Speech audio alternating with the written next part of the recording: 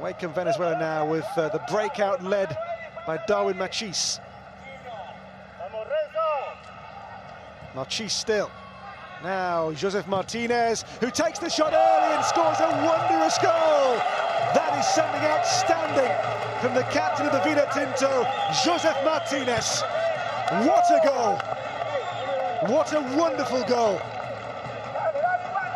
Well, pick your superlative. That is a goal of the highest caliber from the captain. Five senior caps, plays with Young Boys in the Swiss league.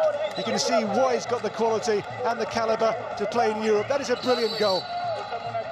It's outstanding.